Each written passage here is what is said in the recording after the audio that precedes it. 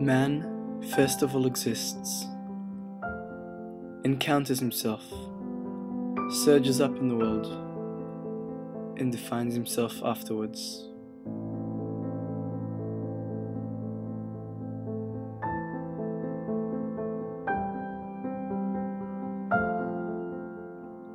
His name was Albert Samsa. He was 31.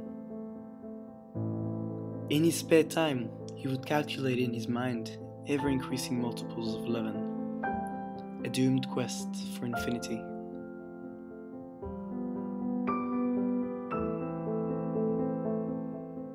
He worked as an insurance underwriter, reading clients' insurance needs like a mystic reading palms.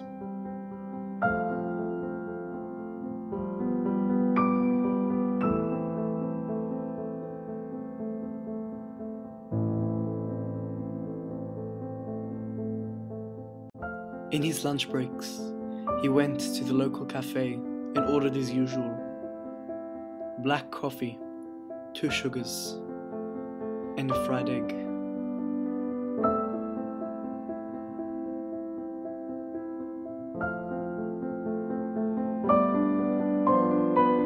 And in the afternoons, he went to the park and watched the wind dance with the winter leaves.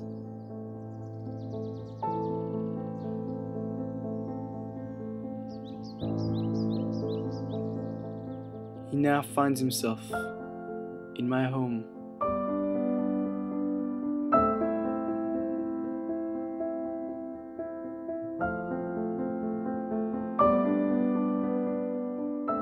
So I decided to confront him.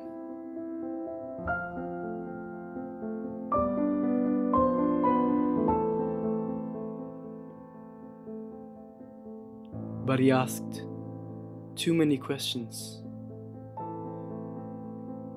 If his life was a flame, why did I strike the match?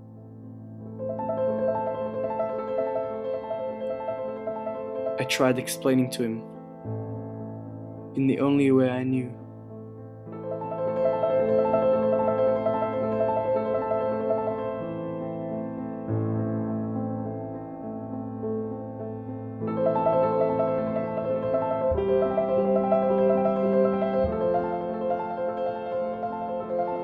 But my own flames flickering, so fleeting, I had to snuff his out.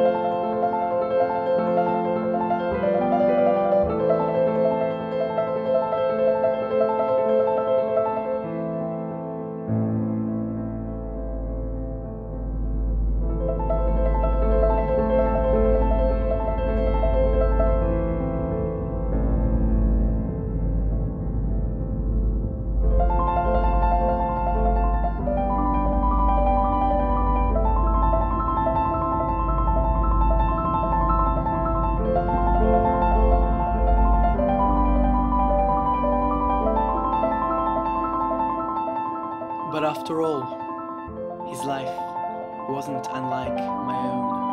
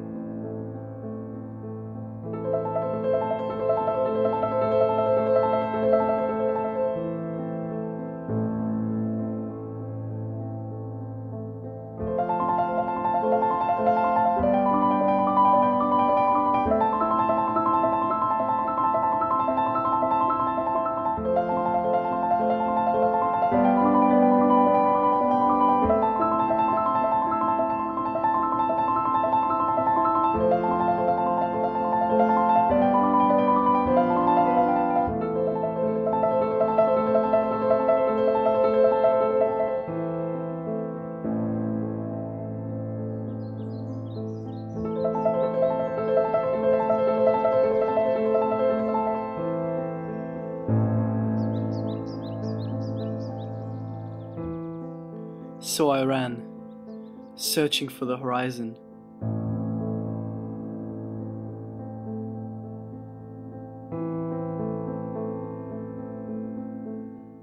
I have nowhere to go. The swift satellites show. The clock of my whole being is slow.